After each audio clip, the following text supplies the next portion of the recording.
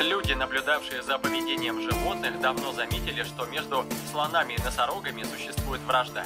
Никто не знает, почему эти звери недолюбливают друг друга, но их схватки часто удается снять на камеру. Причем затевают битву, как правило, носороги, несмотря на то, что слоны гораздо больше их по размерам. Зоологи утверждают, что силы этих животных примерно равны.